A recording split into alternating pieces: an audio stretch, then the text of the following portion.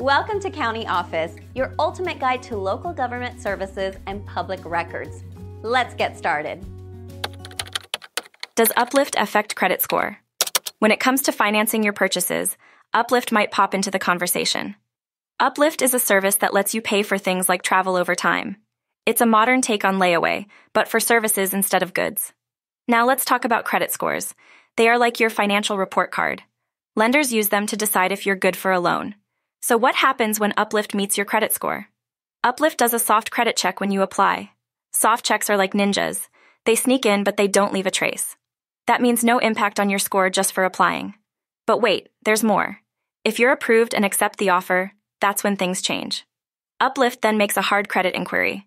Hard inquiries are like footprints in the snow. They show up and they stick around for a bit. Hard inquiries can affect your score. But the effect is usually small. It's like a pebble in your shoe. Annoying? Yes, but it won't stop you from walking. Now, if you start missing payments, that's a different story. Missed payments are like forgetting your lines on stage. They can bring down the show, or in this case, your credit score.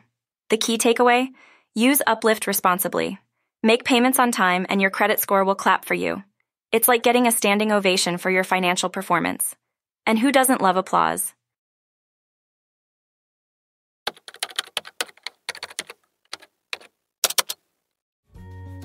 To learn more, check out these links, which you can click in the description below.